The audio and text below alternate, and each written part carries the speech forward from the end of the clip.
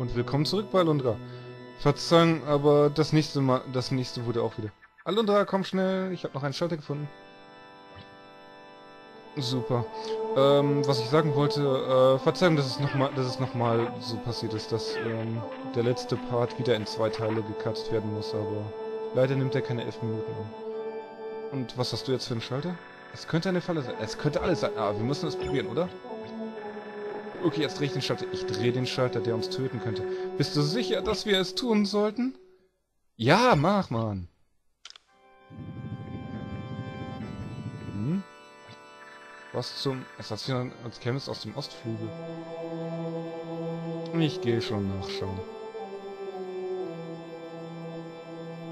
Ich glaube, das hier hat sich geöffnet. Schieben wir das hier.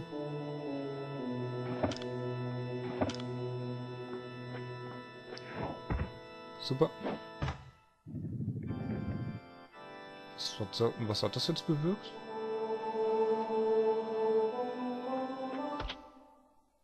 Hey, nur für ein paar kleine Rätsel kriegt man einen Lebensdiamanten. Das finde ich immer wieder nett. Lebensdiamanten können wir immer gebrauchen.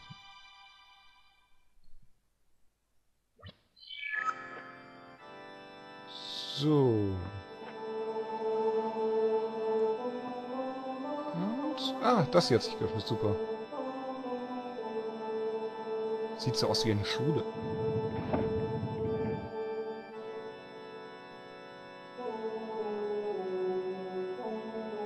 Na gut, einfach wieder an den richtigen Platz schieben.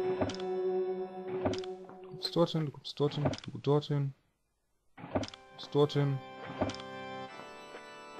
So, und so. Und noch ein Buch erhalten. Das Buch der Strophen erhalten. War das hier wohl eine Musikschule?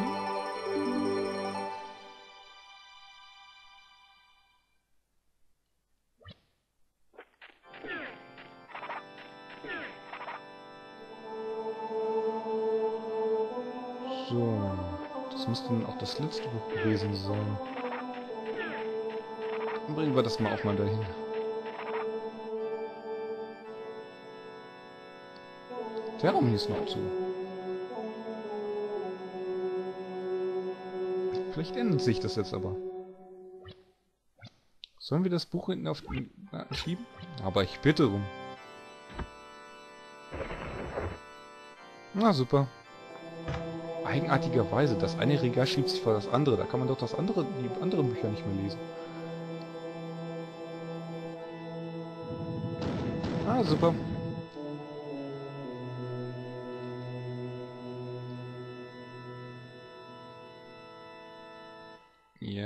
Kann ich jetzt wieder? Danke. So.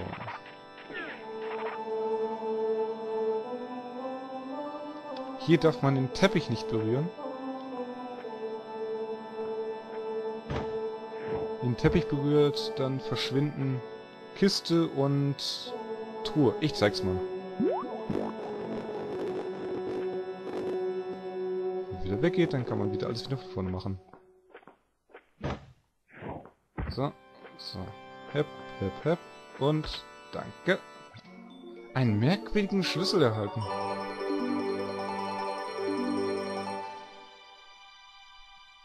Hm, vielleicht ist der Schlüssel für den Altar.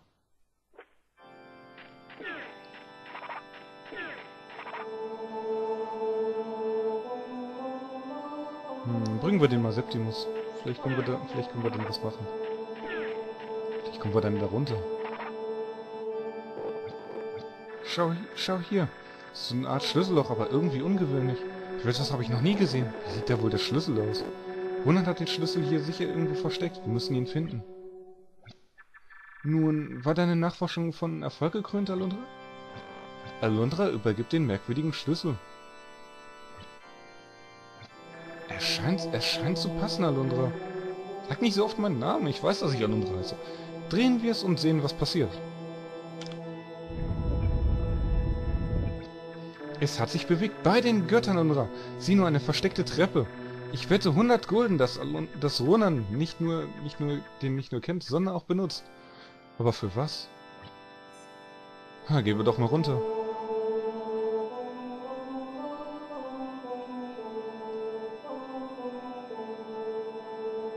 Und wir gehen und gehen und gehen weiter runter.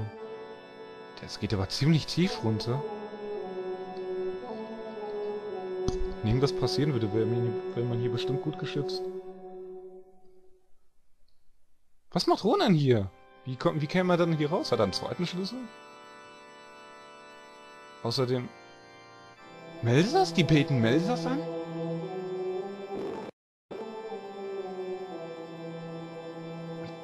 Das ist eine Götterstatue zum Anbeten. Der König hat es doch verboten.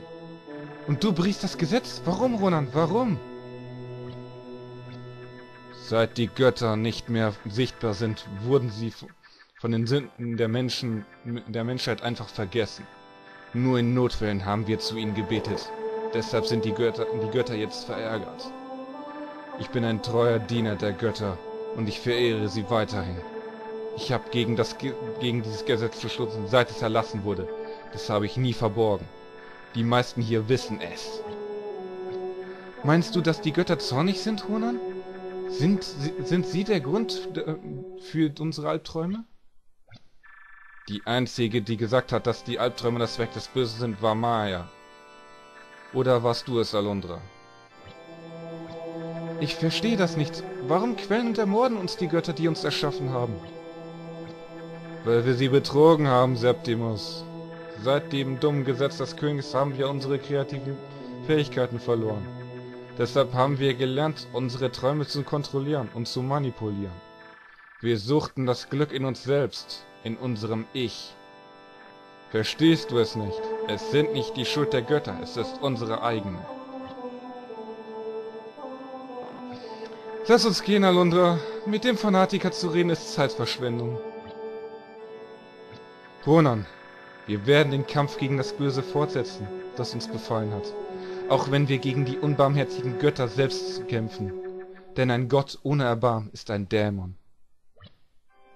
Weise gesprochen. Ha, ha, ha, ha. Oh, wirklich? Da werden die Götter aber vor Angst zittern vor deinem Sohn Septimus.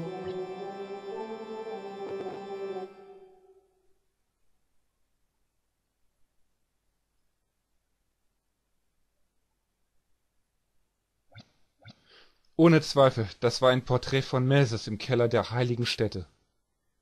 Ist Ronan wirklich der Einzige, der ihn angebetet hat? Oder haben es noch andere Dorfbewohner getan? Mir gefällt nicht, dass keine morgendliche Musik kommt und Jess arbeitet.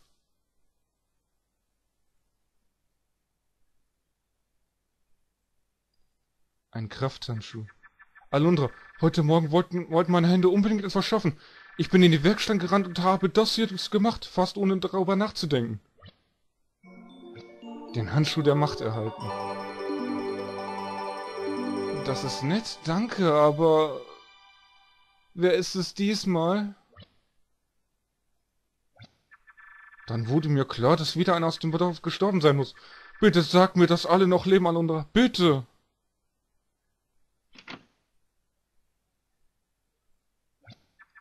Alundra, es ist furchtbar. Sibylle ist tot. Sie wurde kaltblütig ermordet. Was? Oh nein. Lauf schnell zu ihrem Haus. Vielleicht kannst du einen Hinweis finden, wie sie ermordet wurde. Nicht Sibylle!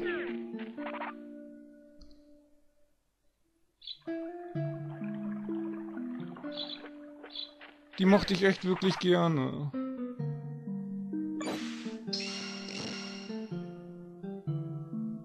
Sie war doch noch ein Kind. Das Begräbnis ist vorbei, aber viele sind immer noch auf dem Friedhof, um zu trauern. Alundra, hast du gehört? Es gibt Gerüchte, dass Sibyl nicht durch einen Albtraum gestorben ist, wie die anderen. Sie wurde im Schlaf ermordet. Einer aus unserem toten Dorf ist ein kaltblütiger Mörder. Ich habe Angst, Alundra. Einer aus dem Dorf? Wer war es?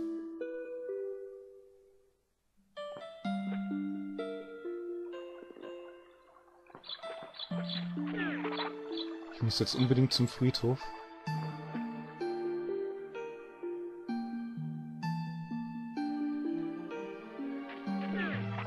Lasst mich durch. Sibyl hat, hat die schon vertraut lange bevor wir wussten, was los ist.